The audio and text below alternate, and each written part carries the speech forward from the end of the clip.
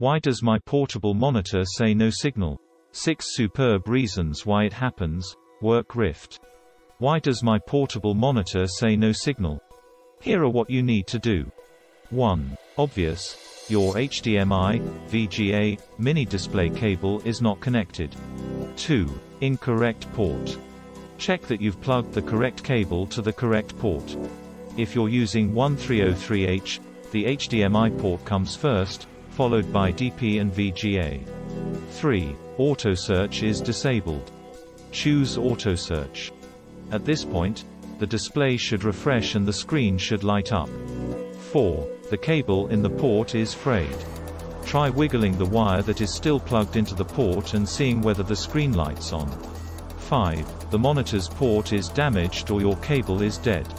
First, check that the monitor isn't powered off. If so, plug a live cable onto the same port and try again to see if the connection works.